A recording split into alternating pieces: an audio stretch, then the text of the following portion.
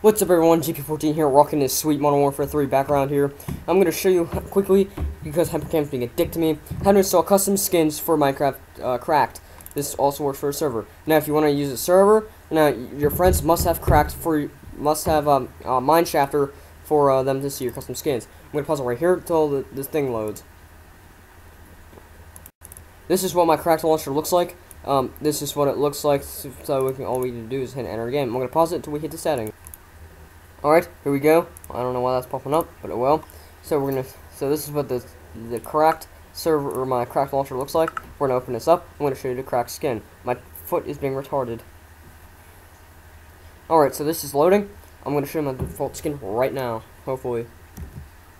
I was originally level 400. I spent all my points on junk.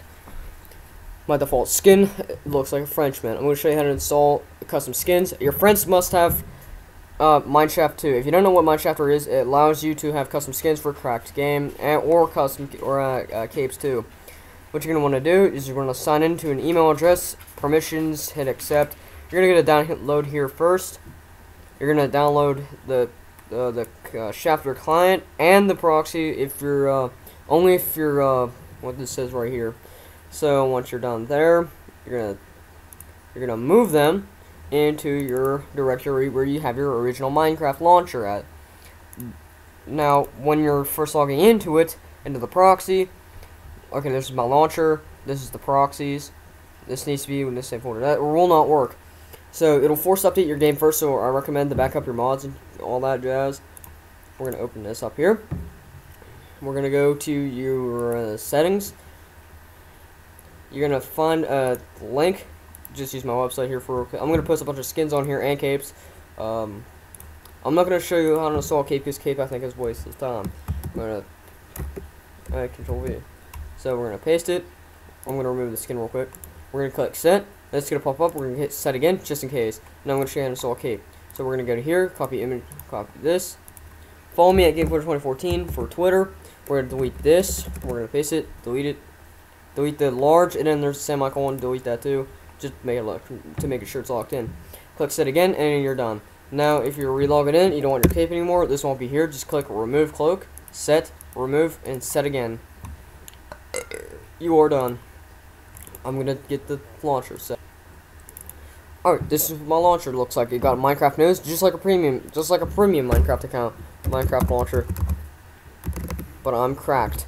So we're gonna click remember password. So like options, you got force update, like just we're gonna click login. This mod, this does not work offline because you're not gonna get your cape and your custom skins because it requires internet for you to have your custom shit. So I'm gonna pause it right here until I get the the world loaded, or at least till the uh, main menu starts. Here's the main menu. This is what it should look like. We're gonna go into single player. It's got the features of a premium, as a premium Minecraft. So that's pretty sweet. Now it's gonna force update first, and you're gonna have to back up your mods, and you're not gonna be happy because you forgot to. So we're gonna open up. So my skin is Rainbow Dash with an FBI with like an FBI get up thing uh, theme. Alright, so I'm gonna hurry up here. Hurry the fuck up and load. Alright, this is Rainbow Dash here. You can't really see it, but she's got like a like a communicator or something like that, like a radio thing. I don't have the radio showing up, so you got your key mark in the front, you got her sunglasses, you got a hat. Not a beret, is a cap. Or at least supposed to be.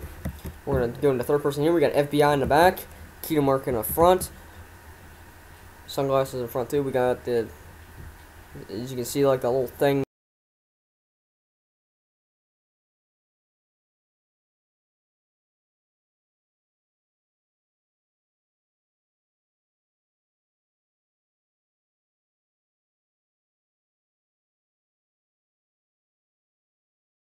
Get a cape, use Mineshafter, and you'll be happy. Until next time, I'll I'll catch you guys.